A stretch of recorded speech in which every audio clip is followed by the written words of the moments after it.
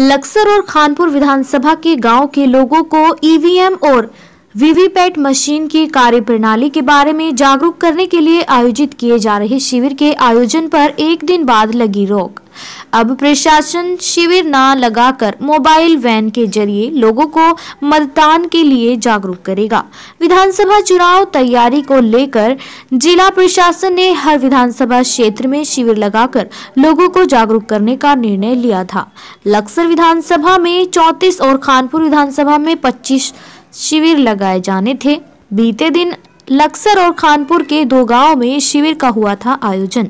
अभियान के जिला नोडल अधिकारी मनमोहन कुंडियाल ने बताया कि अब शिविर लगाकर नहीं, बल्कि मोबाइल वैन के ज़रिए लोगों को जागरूक किया जाना है, जिसकी तैयारी